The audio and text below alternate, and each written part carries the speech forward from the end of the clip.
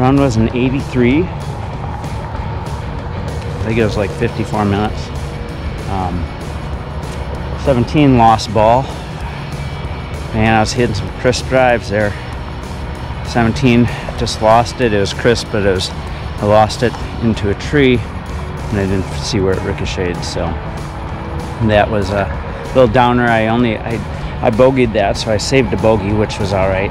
Um, but yeah, that was a little little bit of a letdown. But an 83. Um, I'll do that right now from the blues. It's, a, de- a decent round for me. So, um, a couple things I was thinking about on the run is, and why I do speed golf, and it's it's just so much fun. It's getting the body involved physically with the running and hitting. Um, it's the getting the mind involved and trying to problem solve and compete, and uh, and then just getting out here and enjoying. I mean, look at this sunrise. I'm up.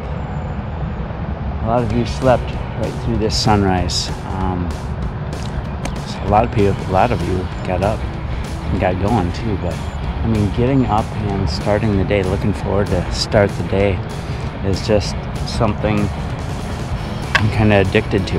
And I remember a time in my life where I was just I was sleeping in and you know hitting the snooze and sleeping. And, oh, I got to get up now and getting up with aches and pains and so on.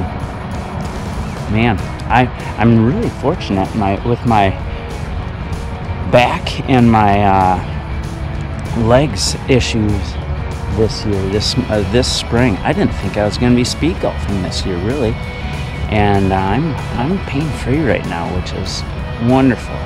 Can't take that for granted. Very fortunate, and anybody that's not pain free would love to be in my position and and be pain free. And so that's why I, I try to relish each time I do this, um, because not everybody gets to for one reason or another, not not their fault, not your fault.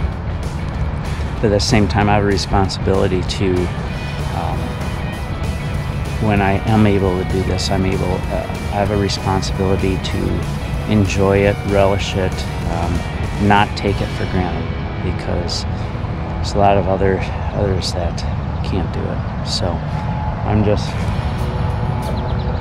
yeah, it's it's great to be out here great to be alive and, and doing this. So, see all those cars going by, doing their thing.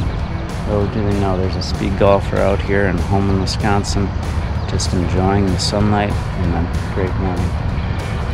It's another day. Enjoy it.